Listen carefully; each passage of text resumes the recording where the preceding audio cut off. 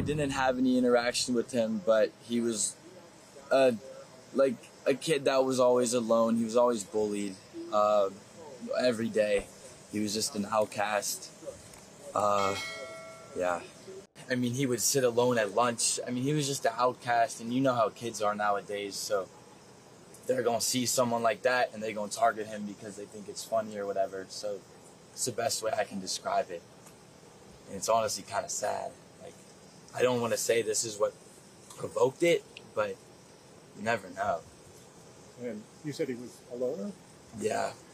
Um, I want to say he was a loner more because he was just he was quiet, but like he was just bullied. Like he was bullied so much, so much. He was just made fun of, I guess, for the way he dressed or his appearance. How did he dress? Uh, like they were just saying jeans. He'd wear hunting outfits sometimes. Uh, I he would always wear a mask even after COVID. He he wore a mask. Like you could look at him and you would be like, something's a little off. That's that's how I could describe it. Would you ever suspect to think of somebody like that being I mean, someone you in? Bethel Park, no, In- it's not something you want to think about. Like being real and it's seeing all this is like actually unbelievable. It's, it's so crazy.